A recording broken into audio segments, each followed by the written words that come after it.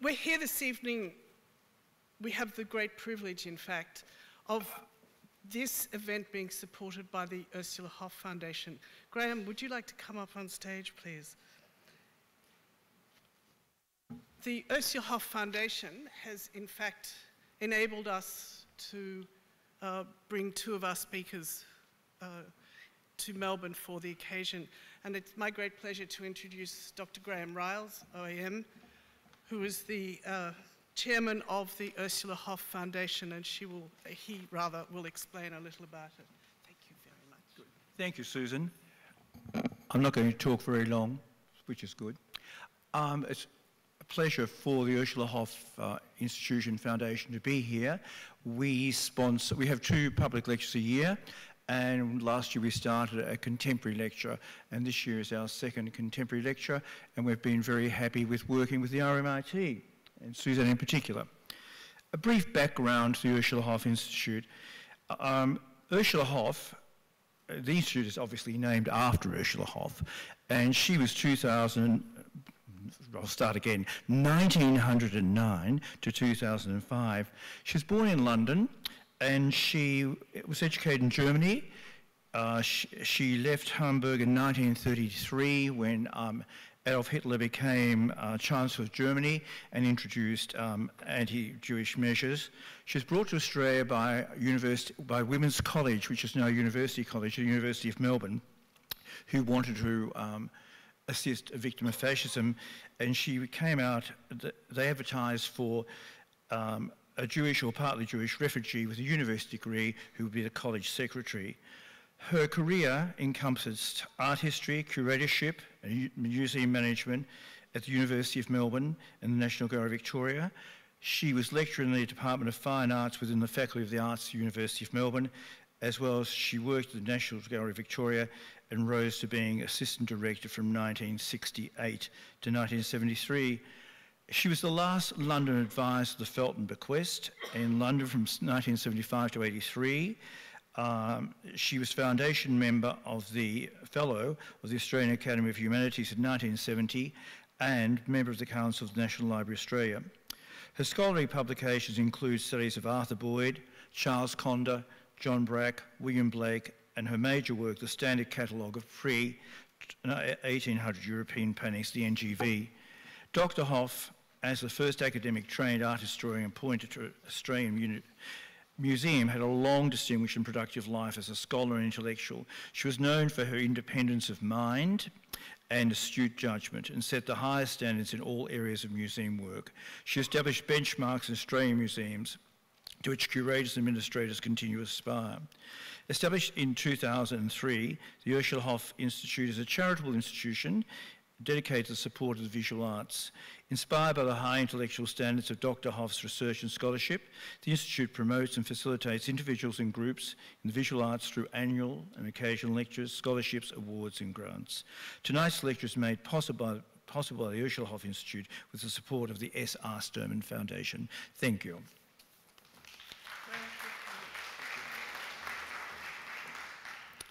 Graham, thank you very much, and thank you most particularly for your generous support. We are very grateful. Thank you. Now, I basically have one further thing to do. Jackie is going to take over as moderator and, and uh, narrator, in, in, in effect, I think.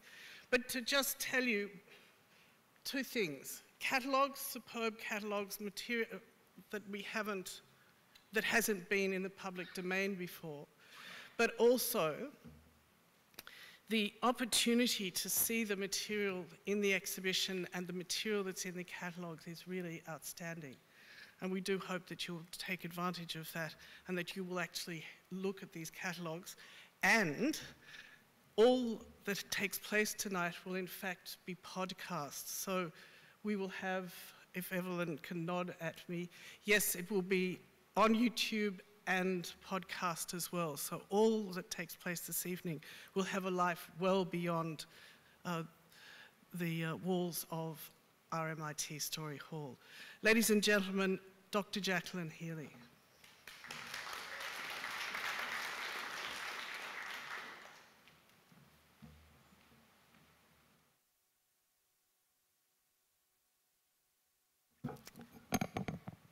First of all, I'd like to acknowledge uh, the traditional owners of this land, the Wurundjeri people, and I'd also like to again welcome the uh, people from Balgo and the people from Warmun who are here tonight. It's, it's wonderful to have everyone here.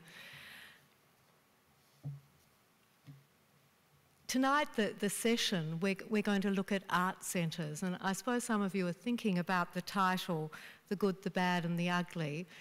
Well, of course, it's a famous uh, spaghetti western uh, with Clint Eastwood. And it was a point of inspiration for um, this uh, event tonight because, in fact, what that spaghetti western was about was a treasure hunt. It's about uh, a series of people who, at some points, were colleagues, at other points, were in direct conflict, who, in fact, set about a series of adventures to um, discover the treasure, the buried coins. And it is in their conflicting interests and then their joint interests and then their combined interests that the adventure uh, goes on.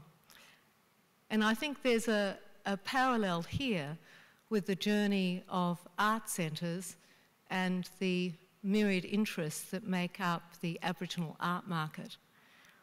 And so I thought I'd start uh, by talking about the good. And I'll have a personal bias in this. So I'm going to start talking about art centres, just to give a bit of an overview uh, before I hand it over to the speakers.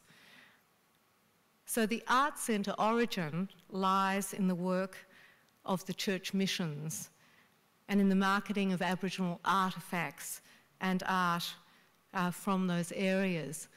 And in some of the many well researched reports done on this area, Ernabella has been placed uh, as, in fact, uh, the first art centre emerging in the 1940s. Art centres have, for a very long time, been the core of the Aboriginal art movement, uh, probably one would place it since the 1970s, with the establishment of centres such as Papunya Tula, with the support from the Aboriginal Arts Board of the Australia Council. Art centres have become associated with self determination and the cultural assertion of Indigenous uh, culture. There have been waves of creations of art centres in the early 1970s then in the 1980s, leading up to the bicentennial, and then another surge before the Olympics in Sydney. Warlayirti Artists was part of the lead up uh, to the uh, bicentennial activity and was established in 1987, and Warmun followed later in 1998, part of the lead up uh, to the Olympics in 2000 my PhD actually was uh, on both Warmun and Balgo in terms of the details of the emergence of these art centres, and I'll go into a bit more detail about that in a moment. But I also then wanted to quickly move on to the bad. And I just wanted to quote uh, Alison Anderson, who, when she was minister in the Northern Territory government in 2011, uh, described uh, the white mafia, meaning art centre coordinators. Uh, this is a direct quote from her want us to stay uh, in misery and poverty so that we, Aboriginal artists, continue to rely on them. They are all amateurs, unemployable in Sydney or Melbourne. Nicholas Rothwell's perspective on art centres has over the years moved from uh, support to, in fact, uh, critical appraisal. And he has uh, actually uh, blamed uh, art centres for what he considers to be a, a, decline in the quality of Aboriginal art, and that the community model of running the art centre has given priority to the community as a whole rather than to the leading artists and the leading artists have suffered accordingly. A few years ago, Jirrawun was uh, put forward as the new model for art centres because this was a totally private sector model. Key artists, uh, major exhibitions, self sufficient, no government funding. But Jirrawun didn't last. It folded uh, in 2010. So, in fact, something that had worked very well for a very specific period of time disappeared as quickly. The other point that has been continually made in relation to the Aboriginal art market and the relation to art centres that they've been on a trajectory of decline because of the generational change within the art centres. And it's inter- interesting to note that these comments were being made as much in the 1970s as in the 1980s, as in the 1990s, as they are now.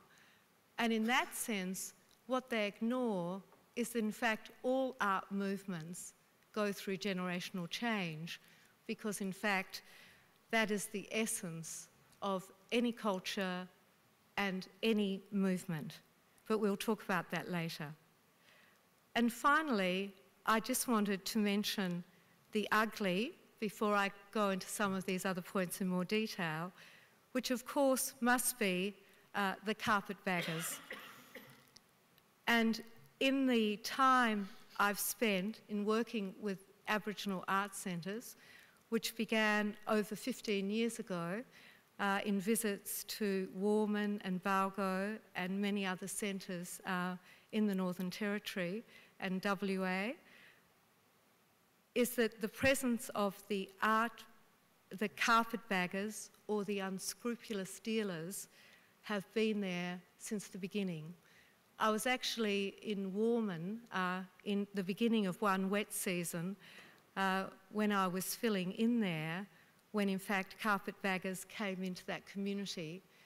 And at first hand, uh, I witnessed uh, that initial approach to the art centre, the finding out of the key artists, and the mapping out of a strategy for how to go into that community quickly, uh, get works, and leave. Uh, I also followed those works uh, to a gallery in Melbourne and mapped that out. But from the other side of things, why in fact there was an opportunity uh, for that to happen was in fact the time of year, the um, economic situation of people in that community, and it was just an aberration not a long term impact, but those things are still happening and happen the whole time. In Balgo recently, a senior artist was in fact taken uh, to uh, Alice Springs against her will and had to be rescued by her family. And that was just 18 months ago. And things like that are happening the whole time still.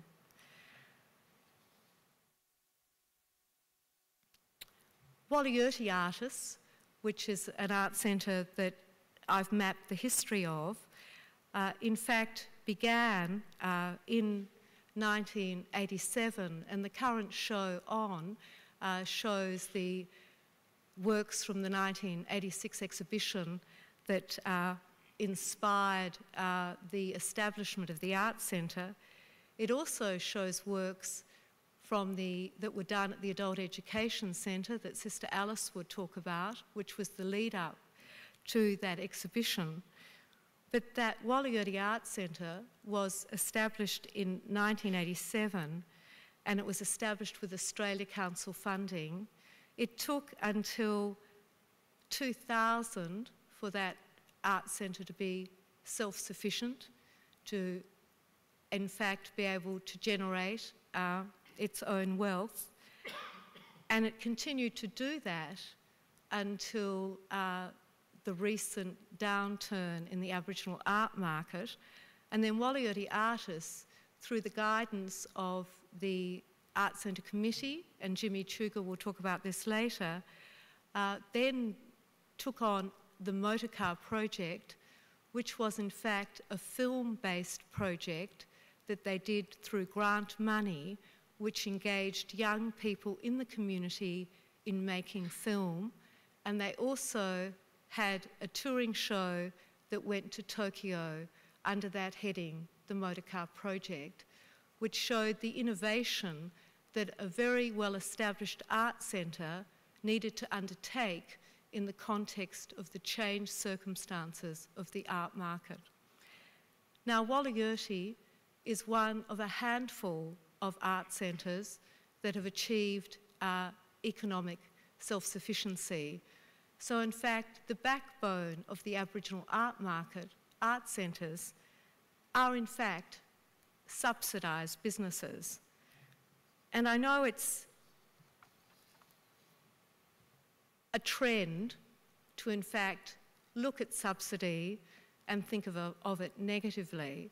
But I think it might be good at this point to think of a, a very important example of subsidy, uh, which is Darwin, that uh, capital city at the north of Australia, who in fact um, is subsidised 90% of its activities. It generates 10% um, in revenue to subsidise the running of that area. And what comes out of Darwin in terms of benefiting Australia and, and benefiting other industries uh, is undisputable. I think in that context, one must look at the role of art centres in that broader brief of their worth and contribution to community as well as their economic contribution and their cultural contribution. The ethical issues of the Aboriginal art market, I'm not going into detail uh, in this overview. We've recently had the Indigenous Art Code in relation to um, private art galleries. We've also had uh, royalties resale royalties introduced, we've had a lot of debate about the value of art centres. What we have is an Aboriginal art market that is a partnership between artist run art centres, public and private art galleries, auction houses, and the art buying public. And all those players have an important role to contribute. We have eternally, since the, I think, the early 1940s, sought models to bring economic prosperity to Aboriginal communities through activities that have a cultural base. Predominantly, the need for subsidy has in fact prevailed. And I think it's interesting to note that the latest bevy of art centres, the Indigenous Art Centre Alliance in Queensland, which was formed a, couple of years ago, or actually it was just 2013, uh, which includes 13 art, art centres outside Cairns, is supported by the Queensland Government and is based on how art centres operate in South Australia and Western Australia. And the report that led to the establishment of this alliance was written by two ex arts advisors who are now consultant. So the model of subsidised business continues. This market, the Aboriginal art market, is a fragile thing, but what is not fragile is the power of Aboriginal and Torres Strait Islander cultural, uh, culture and art. I now have great pleasure in introducing the speakers. We're looking at two sides of things. We're beginning with the prominent art historian uh, Ian McLean, who, uh, as we all know, is uh, a leading art historian and art critic. He's an expert in Aboriginal and Torres Strait Islander art he has not been involved in art uh, centres in any way. He's also confided in me uh, that he knows absolutely nothing about them. I don't think that's true. But why we've asked Ian to speak tonight because he's an outsider. He's viewing art centres from the outside, having not been directly involved within them.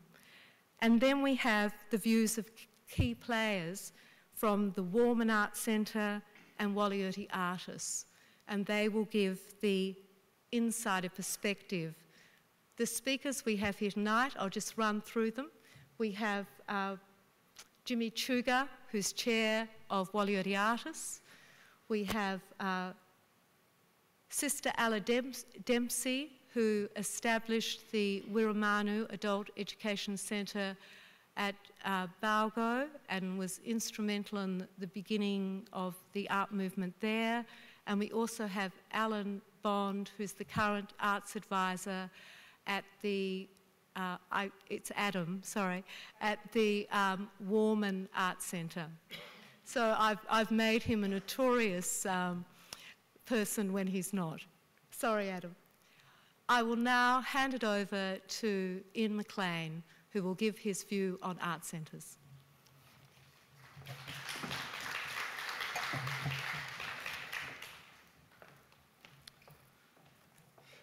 Thanks, Jackie. Um, I've got a bit of a cold, so I hope I get through this without getting into a coughing fit. I shouldn't really be here, but you can't say no to Jackie. Can you, Jackie?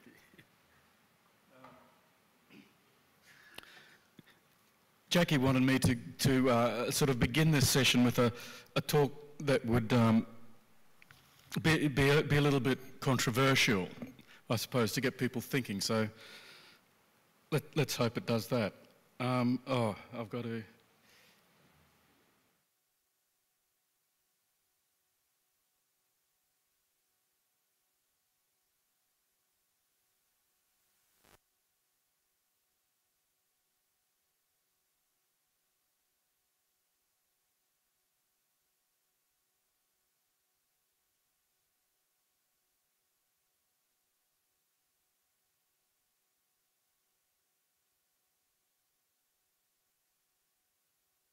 I thought I'd better have some pictures in case you get um, bored. I'm not really talking about the Balgo Art Centre, but I thought I should begin with that. Um, of course, if you think um, art centres are over-subsidised by the government, you should uh, think about how much they subsidise art schools and contemporary art spaces. I'm, I'm sure uh, they get much greater subsidies than art centres. And uh, this is also, by the way, the sort of formal talk that the Ursula Hoff Memorial Lecture um, expects, I suppose. So I've got a talk here which I'm going to read in a formal way. Now, there's nothing in the Western art world that compares to the multiple functional space of the remote Aboriginal Art Centre. as vital to remote Aboriginal art as art schools and contemporary art spaces are to Western art, the Art Centre is the heart of a parallel art world that occasionally crosses with the mainstream urban art world that we're familiar with, or most of us are, as in this exhibition, or these two exhibitions on here. Without art centres and art schools, art would still have a future, but it would be a very different future driven entirely by the market. Um,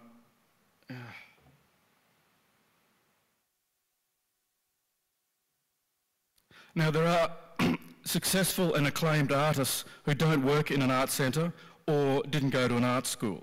There's some examples here. Emily Kngwarreye didn't have an art centre.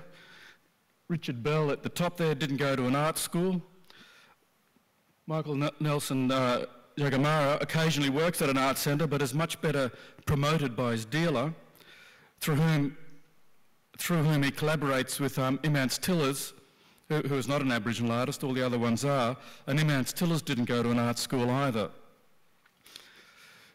However, um, and I think this is an important point, the success of these artists hinges on an existing infrastructure in which art centres, contemporary art spaces and art schools are essential services. So even if you do become a very successful artist without having to use art centres or go to art schools, you still depend on this larger this sort of larger art world or these two other art worlds. now, while um, in many respects, Aboriginal art centres, art schools and contemporary art spaces are similar in that they sort of nur- they nurture the making of art. And they're also similar, they're, they're, they're manifestations of modernity. They're, they're, they're uh, things that came about in the modern art world. Their difference, or what I've called their sort of parallel worlds, is more important. And what is interesting, I think, about uh, this painting by Jagamara and Tillers, this collaboration they did, is that this sense of a fundamental difference between remote Aboriginal art and Western art in this uh, large canvas happily coexists without the need of a resolution of any sort. It's what you might call an abiding indifference without any anxiety about identity. It's not as if these two artists felt they had to resolve the painting. They just allowed their two voices to exist together on the same canvas. and that's the sort of metaphor for my talk.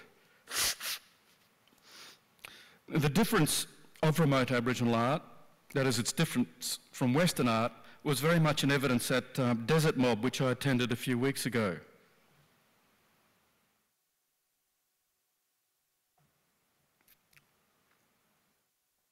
Desert Mob is the annual exhibition in Alice Springs in which the coordinators of the 40 odd art centres in the central and western deserts select their best work of the last year for a salon type hang, after which a market is held in a busy annual sale. This year, Desert Mob was celebrating Desart's 21st birthday, its coming of age.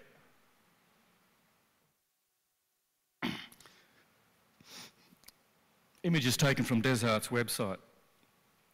Desart is the Alice Spring-based umbrella organisation of these desert art centres, and Desert Mob is its open day.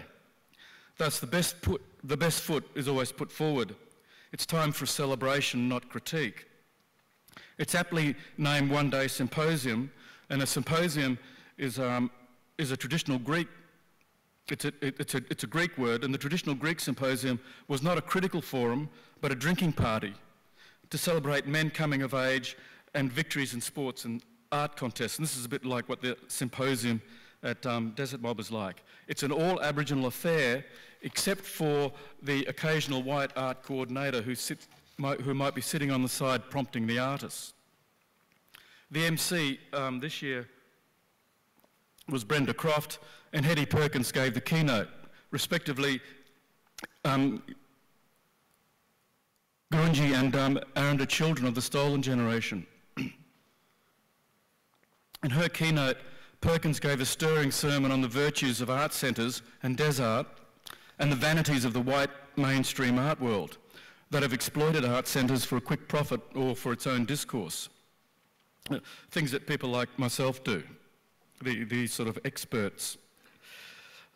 Identity, after all, is most clearly defined not through an abiding indifference, but a discourse of difference, a sort of naming of the other. And this is sort of what, what Hetti was doing. Perkins, now Perkins hesitated to damn the art world in toto, but the message was clear. Without the art centres, the Aboriginal art movement would never have happened. Art centres don't need the art world, and the only good dealer is one who does the art centre's bidding. In the other keynote, um, keynote address, the Wiradjuri conceptual artist Jonathan Jones gave a similar message to artists wanting to collaborate with Indigenous artists. Artists like Imants Tillers, I suppose. An increasing common phenomenon these days. In short, his message was know your place and stay there. He made a scathing remark about an unnamed white woman artist who had collaborated with an unnamed Aboriginal artist in an unnamed art centre. together, their talk gave the sense of a strong Aboriginal nation with its own united identity and cultural expressions that the Aboriginal-owned art centres guaranteed, needing to defend itself against the outside Western art world, Western enemy, if you like. And the largely white audience clapped. Now, given the history of colonialism and also the ace that art centres hold up their sleeve, namely the art, this militant stance of Perkins and Jones is understandable and some would say necessary and even admirable. They had another point of difference to make as well. Unlike dealers and the Western art world, they said art centres are focused on the culture, not the art. And this was emphasised many times. It's in fact, I'll come to that in a minute. In other words, they said they are about um, sort of community rather than the art world. It's a sort of a community art enterprise, not a fine art enterprise. So the, the global financial crash or the latest art worldism is not an art centre concern. What, ma what matters is the strength of the culture. Like an anchor driven deep into country, art centres hold the community fast, stop it being, stopping it being swept away by the wild currents of modernity that ravage these places. One frequently hears about the health and social benefits of art centres and the obverse, as we just heard tonight, that artists get pulled towards carpetbaggers and dealers because families get greedy and forget the community. So if art centres are about culture, what is culture? I thought I'd put this painting up by a, a Canadian Indigenous artist to uh, not so much answer the question, but ask the question, what is culture? These two art worlds facing each other. Now, culture, I want to um, argue, is made from processes of transculturation, a, a mixing of differences, as here. Even when one thinks in squares and the other think, thinks in circles. It, so it's made from a mixing of differences rather than, and not from some mysterious essence that um, has to be kept pure. This culture is strengthened not by building defensive walls around it, but by engaging with other cultures. The Art Centre is just such, the Aboriginal Art Centre is just such a transcultural space, though you wouldn't know it at Desert Mob or indeed most writing on Aboriginal art. Art centres are sites of collaboration and exchange between artists, but what makes or breaks an art centre is the collaboration, collaborative relationship developed between the artist and the art coordinator. As the broker between the artists and the wider world, the art coordinator is the linchpin of the operation. This is why art centres are so important. They are like a portal between the community and the world, looking, having to look inside and outside simultaneously. And um, some art centres are good at looking inside and some are good at looking outside, but the best are the ones that do it simultaneously. That can, that can handle the dealers and but can also, um, you know, get the, get the artists excited and painting at the same time. It's a very difficult thing to do. Now, another um, important portal or sort of doorway between the Aboriginal art world and the wider art world is something more conceptual, and it's to do with the way the art the art is badged or sold, in, uh, mainly in institutional, that is, Western art world discourses. And th this is paramount, I think, to the future of both art centres and Aboriginal art. For example, when Aboriginal art is badged as primitive, as it still is in some places, as in the Musée de Quai Branly in Paris, it effectively burns all bridges to the modern world. The, the, the portal is shut down. This is why its rebadging from primitive art to fine art in the 1950s was such a good thing, a liberating thing. However, the rebadging wasn't that successful because in most people's mind it simply became primitive fine art. Art galleries, which collect fine art, began establishing primitive art departments, which in the 80s morphed into Aboriginal art departments. And the story told in these Aboriginal fine art departments or primitive fine art departments remained outside the story told in the modern fine art departments. So we still had this, these sort of two worlds that weren't really talking to each other. More successful was the um, 1980s rebadging of Aboriginal art as contemporary art. This was also an institutional move that is, it mainly happened in Western art world discourse, but art centres and artists also participated in this rebadging. Thus, when the Warlpiri artists made a ground painting for the Paris Festival in 1983, they said, we want to show the people of Paris that our culture is as modern as today. And Jagamara said uh, much the same thing when he painted a BMW in Warlpiri Designs, that you can have a Warlpiri BMW. However, there was always at this time a competing paradigm at work.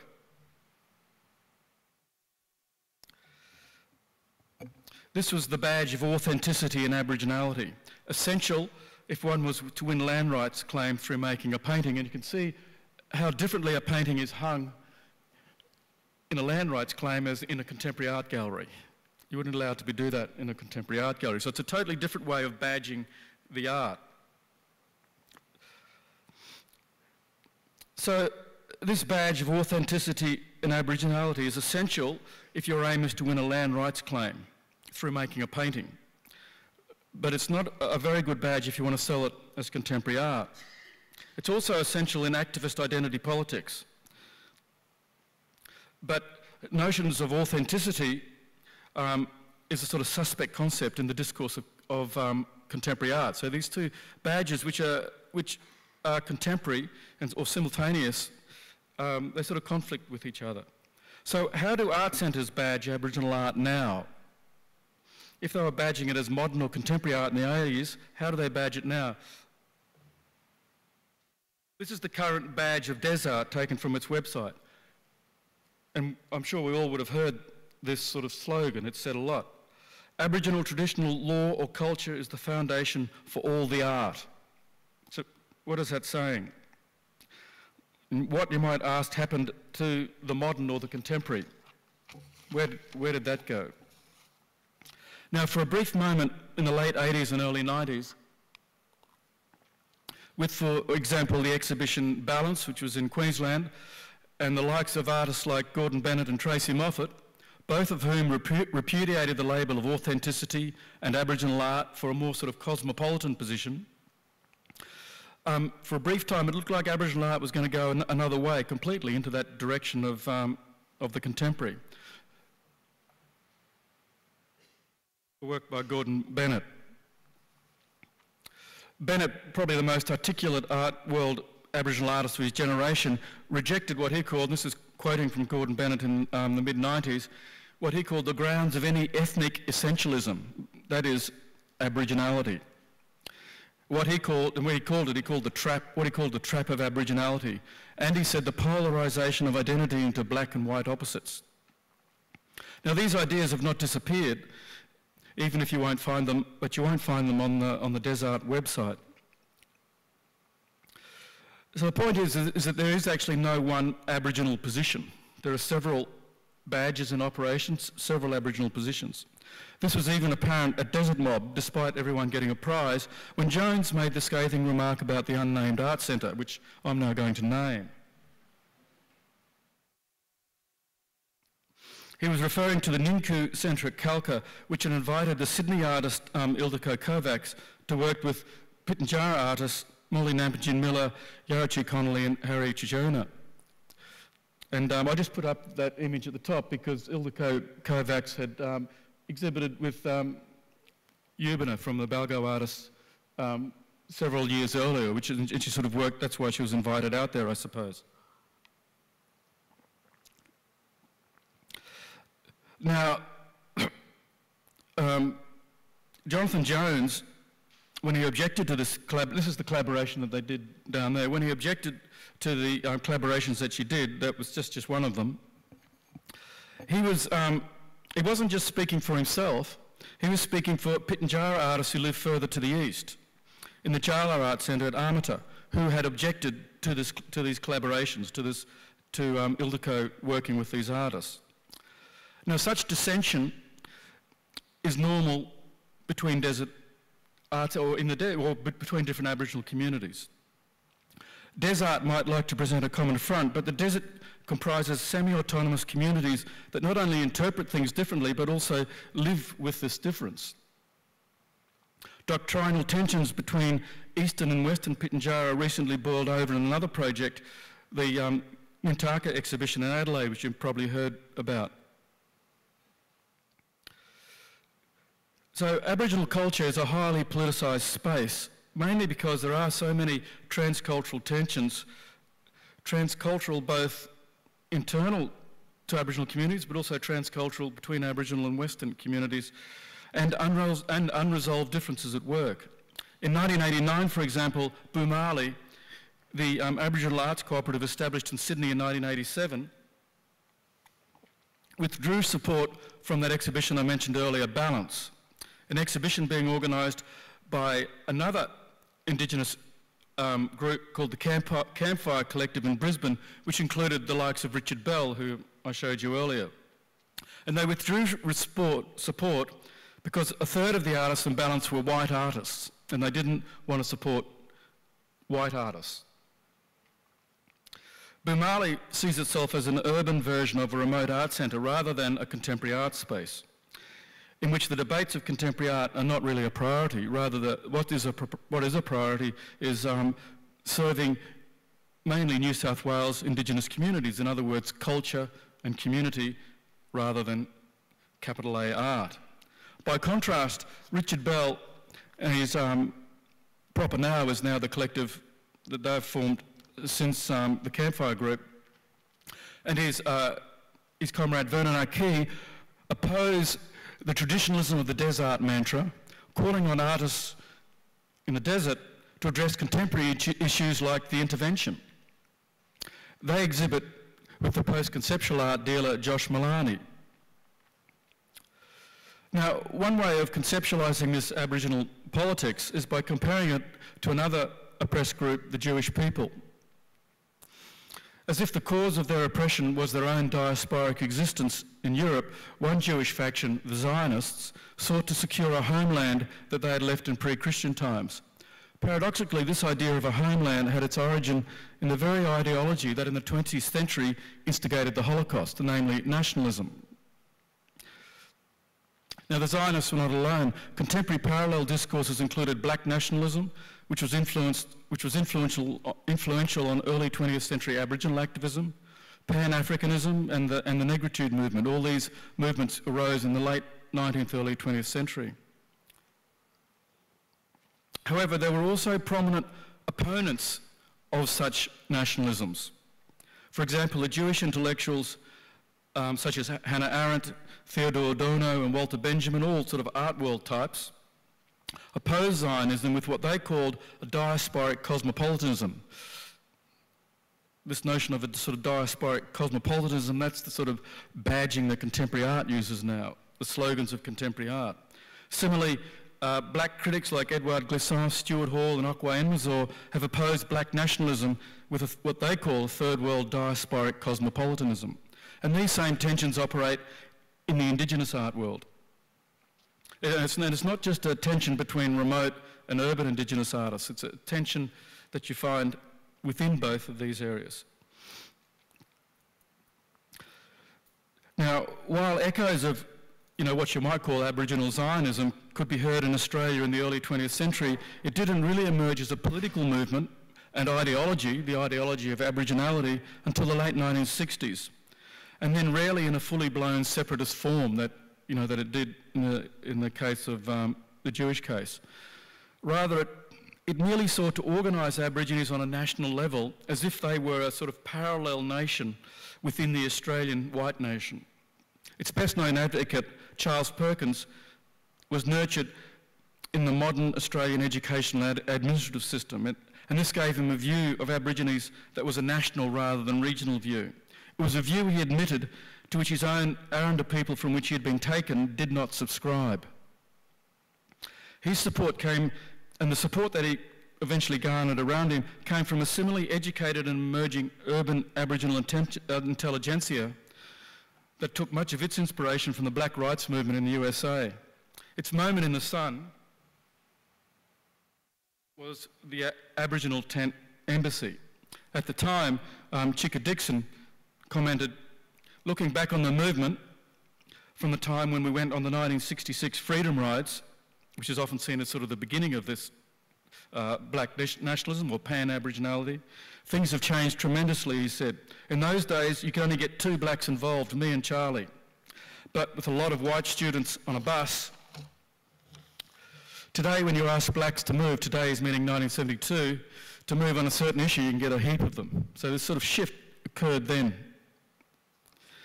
The tent embassy even had its own flag. All the trappings of a nation, but without a territory or a central government or, or everything else that goes with a nation. However, its principal cause, land rights, which is territory, and self-determination, which is, um, which is a sort of national idea again, meant something very different to the urban diaspora than it did to those living in remote Australia close to their country. Such as those who formed the Papunya Tula Cooperative in the year of the Tent Embassy. The idea of an Aboriginal nation never really took hold in Australia. Ironically, the idea of Aboriginality has had a greater impact on how white Australians conceive their national identity than on orchestrating an Aboriginal nationalism. We saw that at the 2000 Olympic Games, for example, the, the opening ceremony there. So despite the flag, Aboriginal Australia is actually a much more is much more like a cosmopolitan space, a series of localities organised in a network of relations than a nation. Now, uh, this is art centres. Um,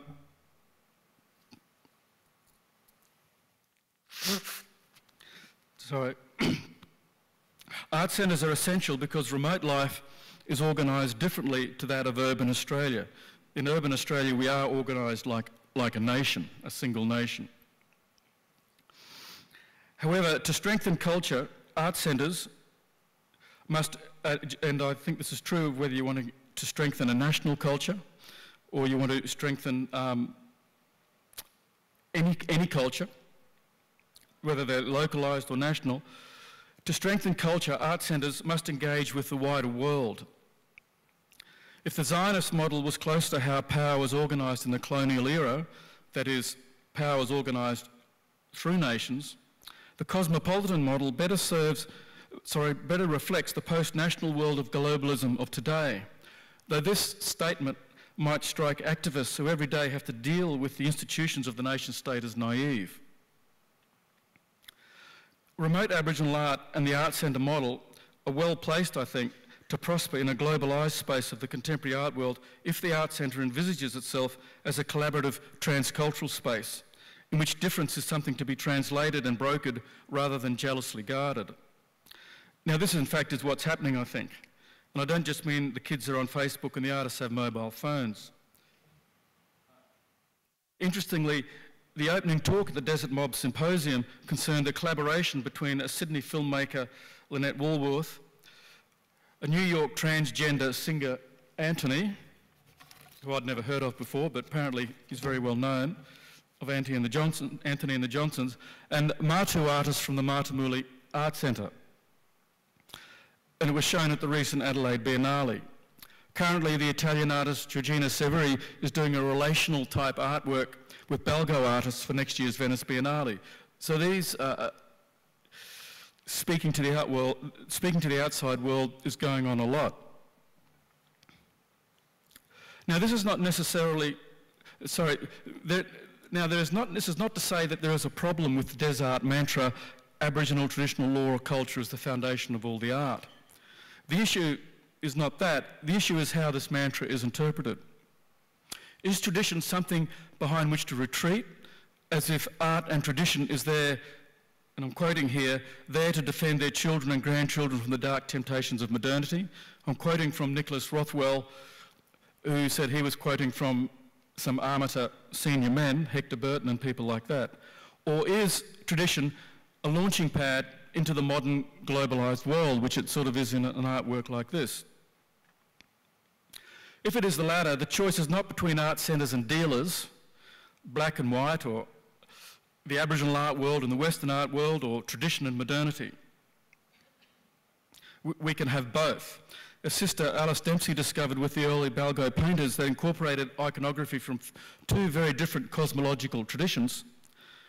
Or had she already learnt this from these Kukatja men, you can hold both, you can hold both. Thank you.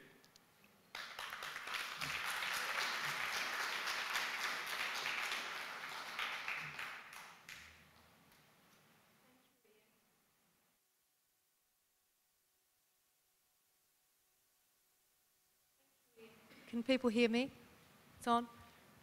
Thanks, Ian, for a great talk and raising some great issues in relation to art centres.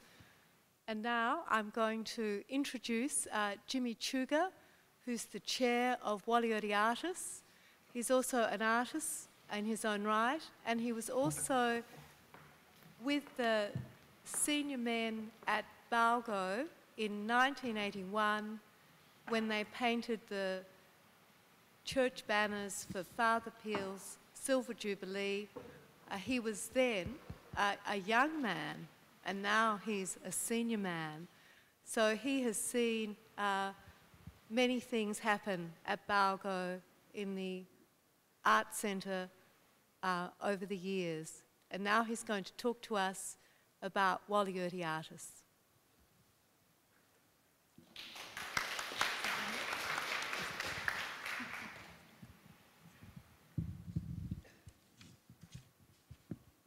Hello, I'm Jimmy Tchooga, chairperson of Balgo Warlayirti Art.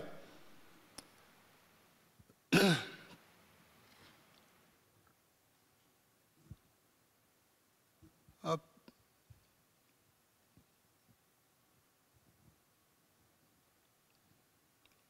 What's that gonna do? Hmm? Yeah.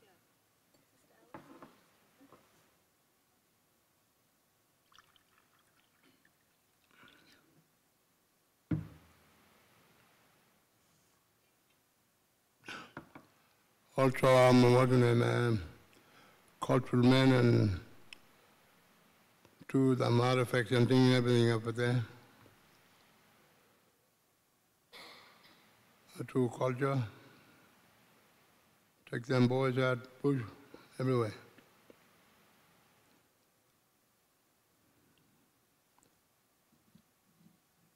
And also, uh, two big artifacts up at home with my son.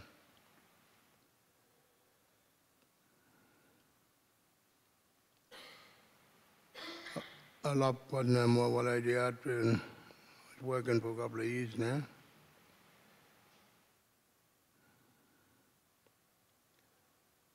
And although I was the chairperson when he first opened up the what I did, I was the chairperson.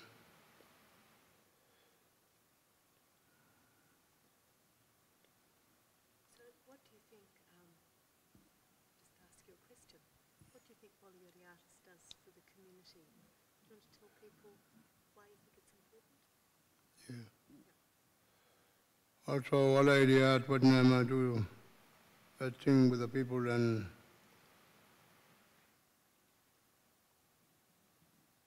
and also what name um, I do a lot of art there.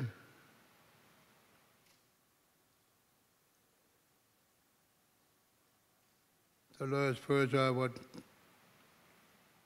do painting with the stylus and thing. I done the first painting.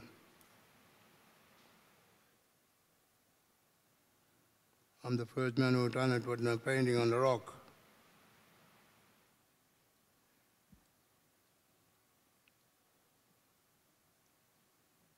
After that, I came in as a chairperson for 180 Art again.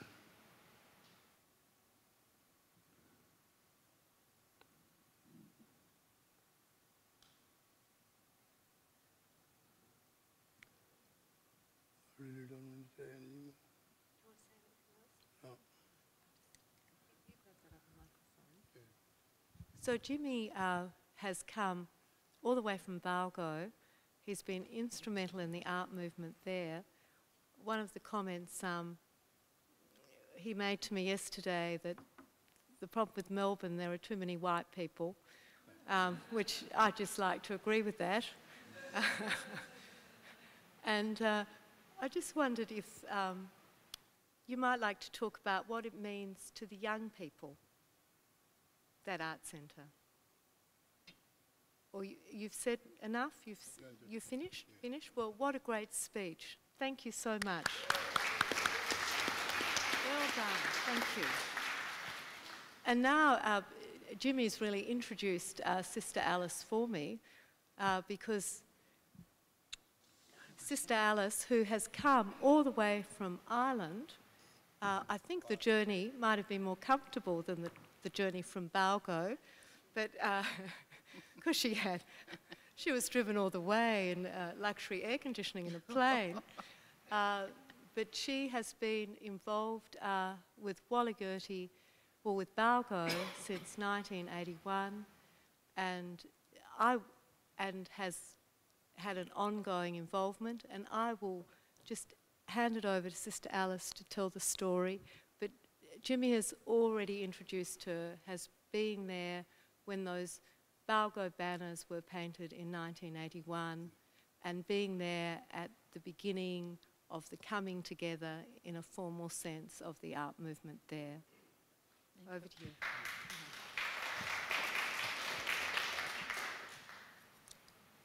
Thank you, Jackie.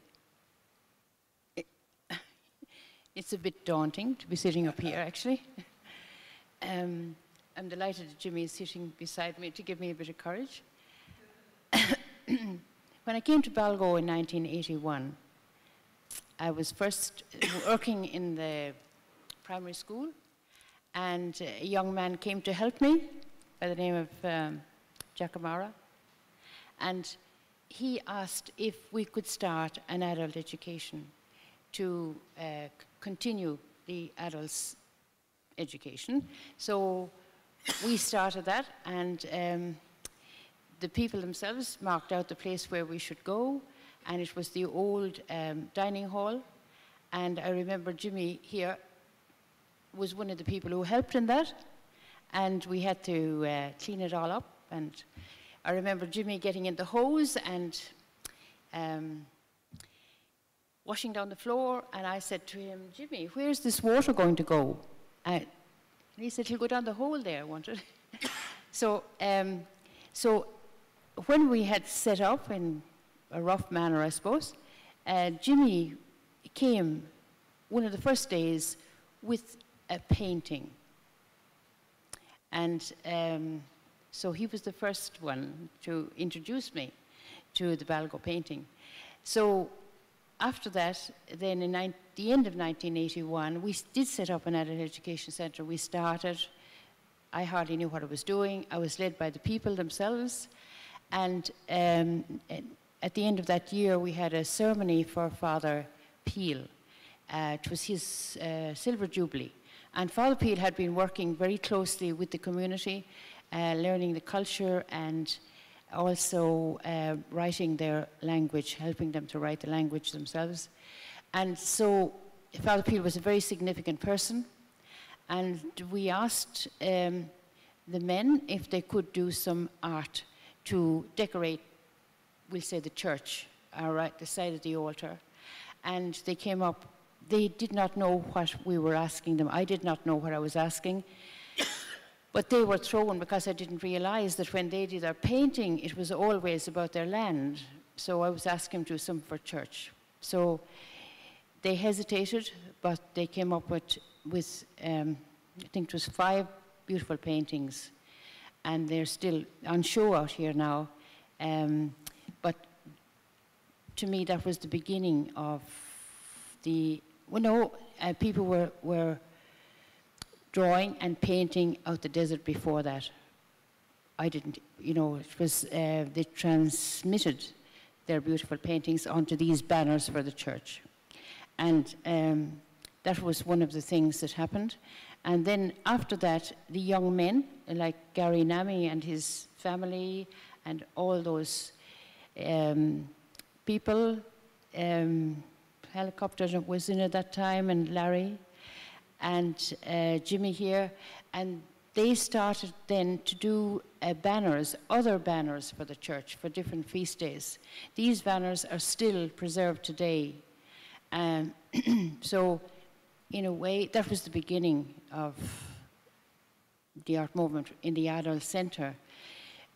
We did not know where we were going. I didn't know where we were going at all. I didn't think it was happening like as the people wanted. And then we um, did up the adult centre. We extended a bit, and uh, another young man came along by, can I say, can I say Matthew's name? Yeah uh, by the name of Matthew Gill. And Matthew said to me, just before Christmas, he said, Can the, we were just going home, the extension was completed, and he said, Can the, can the old men come here to do their art? And I said, wonderful. And that was the beginning. And so when we opened the doors, the old people came in and um, sat around. Matthew really was the advisor because I did not know. I knew nothing about Aboriginal art. So he was the advisor. So he advised us along the way. In the beginning, we just used calico, paper, whatever we could get. And some of these paper drawings are still out there. You can see them that they did at that time. So, um, so that was the beginning, really. I suppose, you know, of the uh, that movement of the movement. Yeah, and later on, that oh yes, then in it continued then, and more people came in to do art, and um, the women were invited in to do it. Matthew um, invited the women in, and they did their own, uh, sometimes on calico, and so um, Matthew had the great vision of having uh, an art exhibition. It was his thought, it was his vision to have that. And so in 1986, we had the first exhibition um, in Perth, the Art Gallery in Perth. And it was a great success because um, it sold, it really sold up the walls, anything that was sellable. And so that was the beginning. And then after that, um, the Arts Council, I think it was, that gave us uh, money for uh, an art manager. So then, well, it was on the way then. Okay, and um? So it's going strong. I mean, what has happened since then? Of course, it has extended and extended, and you can see it in there. What beautiful art has been produced, and it is going strong today. And I do hope it's a real the art centre in Balgo is one of the most important places for people and they see it as theirs. It's a community centre and they very much see it as theirs. And they have a great say in it. They have their own board of management and I'm always very thrilled to go in there to see how it is managed, has been managed over the years. Thank you. Thank you. And some of you in the audience might be aware of uh, Susie Butcher Butcher and Mick Gill. Matthew Gill was their son. So he was that younger generation who was actually leading um, the older people and was in fact a bridge with the art market um, in those early days in the uh, 1980s. Now I have great pleasure in introducing uh, with the correct first name I'm concentrating very hard. Adam Bond. Boyd. Oh, sorry. Boyd. Did I say the wrong thing again? Oh. I'm so sorry. It's just been a long, long day. Mm. But you know who you are. That's the most important thing. From Warmun Arts Centre, and uh, he's going to talk about the, the Art Centre and the great innovative things it's currently doing. Thank you for coming.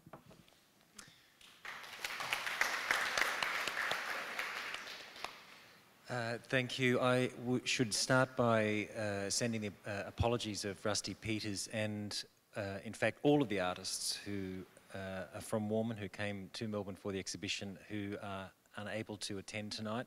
Their collective age is somewhere around 240 between the three of them. We don't really know, but they're roughly 80 years old each. It is a huge undertaking for them simply to travel here, let alone to um, come to an exhibition opening, to participate in a conference, to um, perform at the National Gallery Victoria tomorrow night. Um, by any standards, uh, I, I, think it's uh, you know it's quite an achievement. So uh, we need to be um, um, understanding of their need to sleep, which they're doing.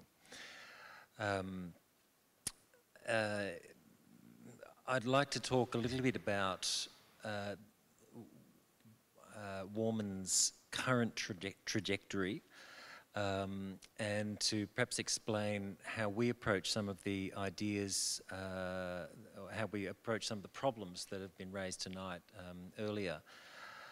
For us, um, everything begins and ends with the Gidja mob. It is uh, entirely our role to facilitate what it is that they value and that the things that they want to promote within the Arts Centre and more generally through the cultural initiatives that we support. So at every turn, we consult with the Gidja mob and ask them directly, what is it that you want? What, what do you want this to look like? Where do you want it to go? So uh, we're getting better and better at doing that. We're by no means perfect. I don't think any art centre is and probably never will be. But we certainly put a lot of energy into getting the balance right and in um, um, speaking as, as plainly and as, as clearly as we can with each other. And it is very much a two-way conversation.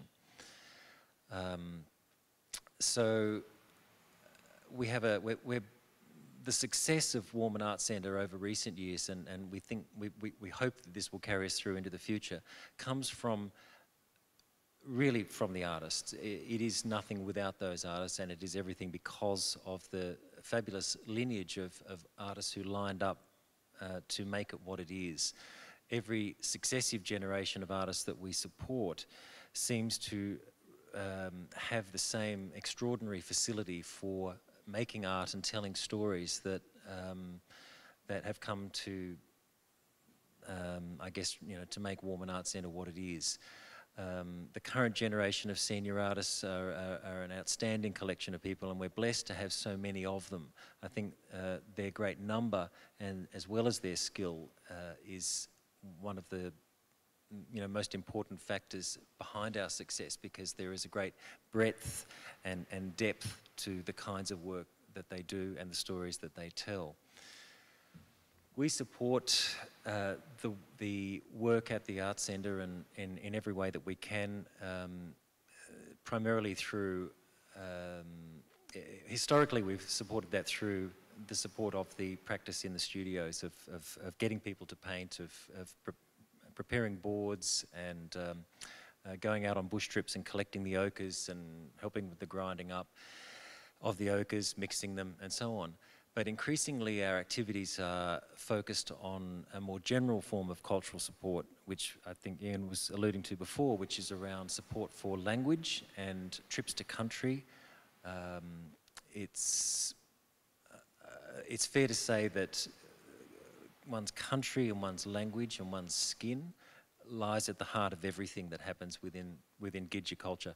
I can only speak for Gidja culture because I haven't um, had, I, well, I, I'm simply I'm barely authorised to speak for them, let alone other Aboriginal uh, groups.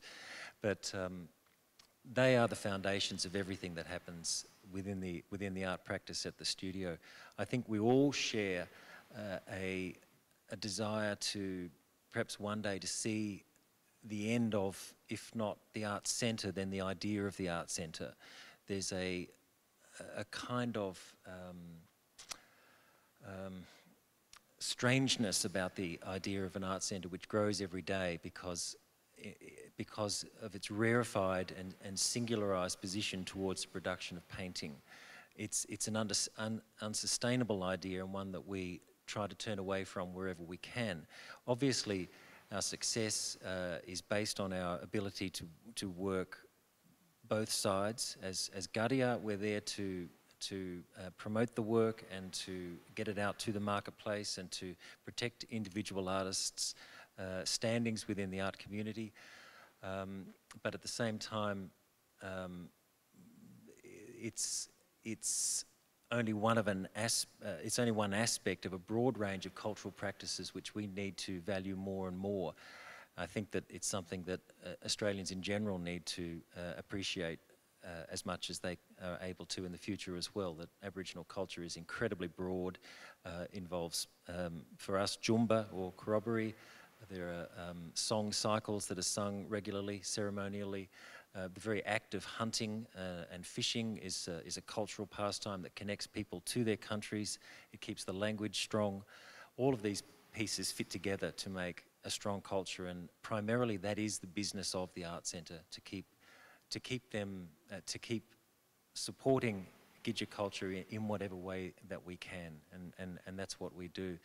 For the future, we're planning to uh, undertake uh, more pro uh, projects such as the one that we've put together downstairs, which uh, is a an exhibition that brings together um, a more scholarly catalogue that researches the, the, stories of the paintings, and the paintings themselves are a telling of uh, a, a, a, well, it's really a single story that crosses uh, a, number of countries from east to west across Gidja country. It's the story, of course, of Gunkin, the man who becomes the moon. It's a, a complex and fascinating story about mortality, of sex and death and desire, um, of, of, of, skin obligations.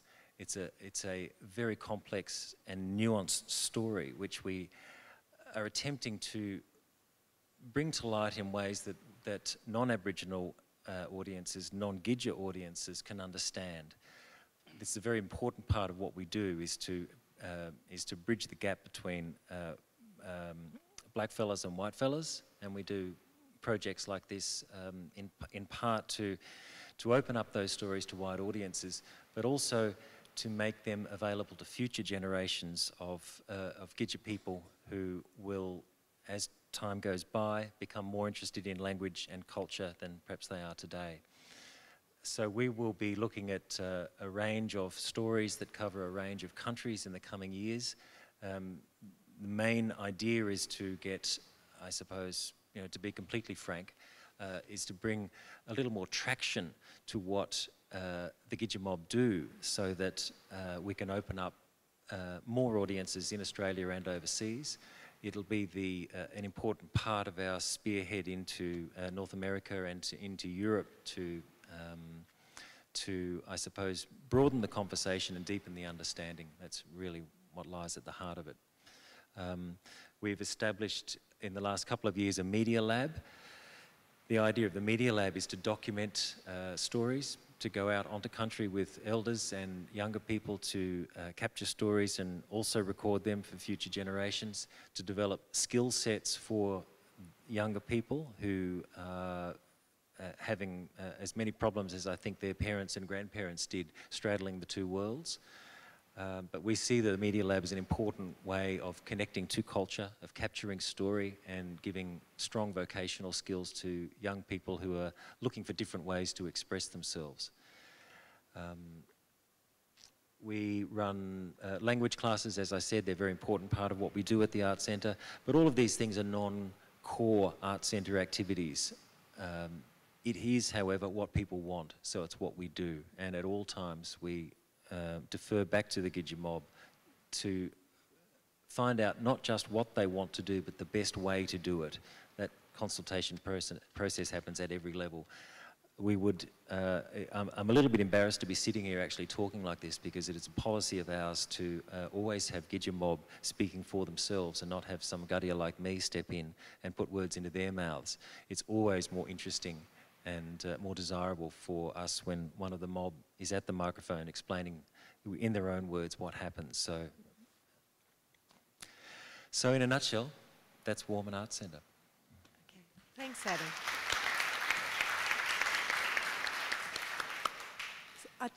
Now um, I, I was going to hand it over to you. I know we're running a little bit late.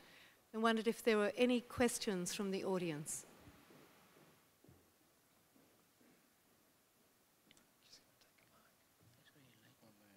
Oh, sorry. Yeah, we've got a microphone coming round.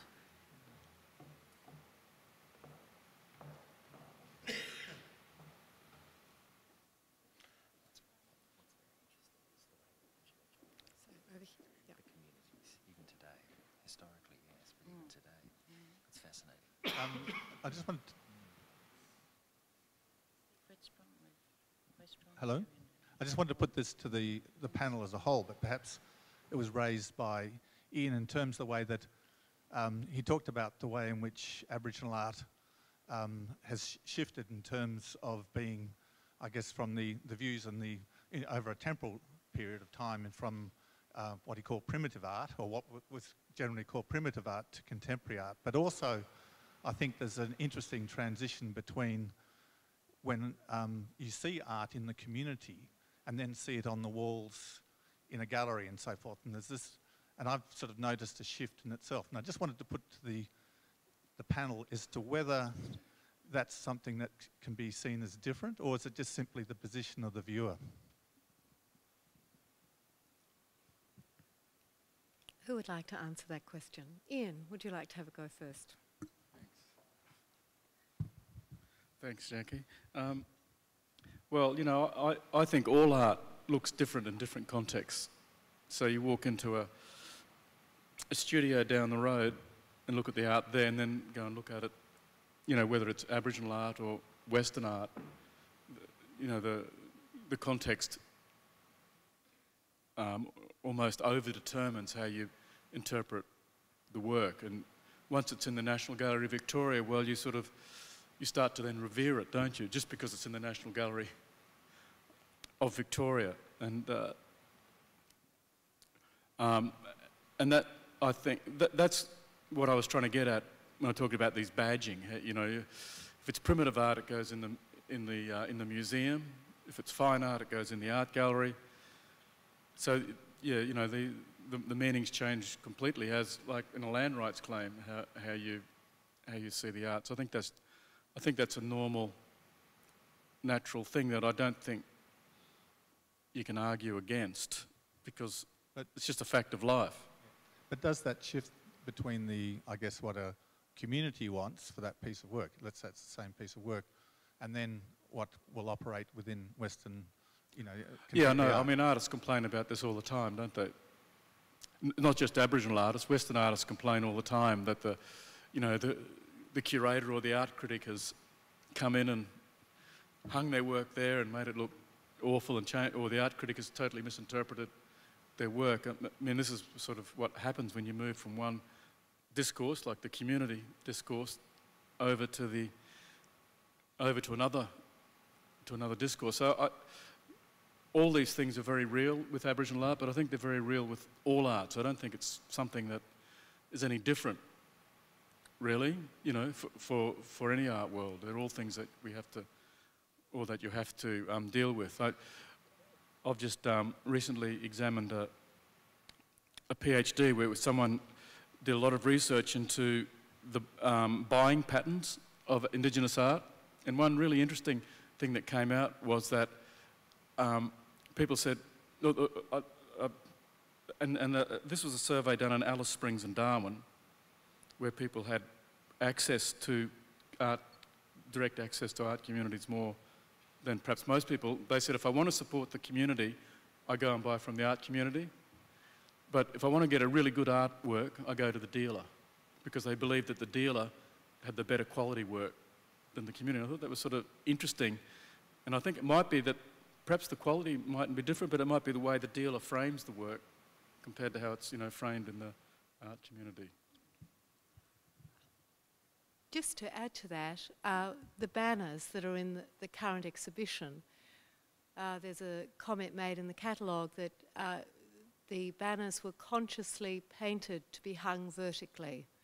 So when the um, senior men and the senior men working with the junior men um, did those banners for Father Peile, they were conscious about how they were hung in that regard, and that was the, the first example of that, um, where people were consciously thinking about how the wall, how, how the work might be arranged on the wall. Anyone else like to make a comment? Anyone else like to make a comment on that issue? No? No, um, Okay. Any other questions?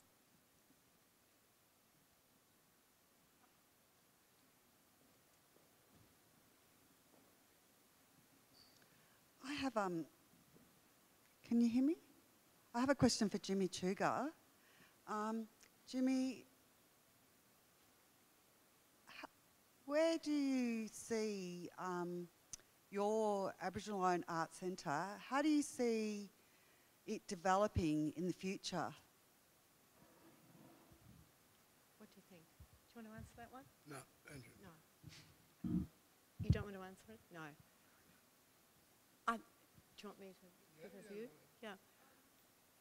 I think that um, what Jimmy has said to me before about this is he sees the art centre as something being uh, very important to the local community and very important to the um, for culture and passing down stories and playing that role.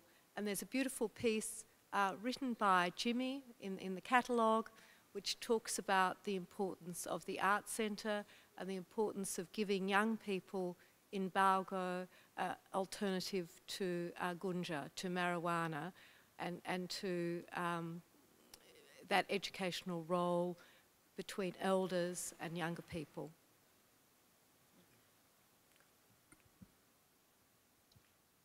If there are no more questions, I would just like you to join me in thanking the speakers. We're so lucky to have uh, Jimmy here from Balgo, uh, Sister Alice here from Ireland, Adam here from Warmun, and Ian here from Wollongong. Um, if we could just thank them all for a very stimulating um, evening's discussion.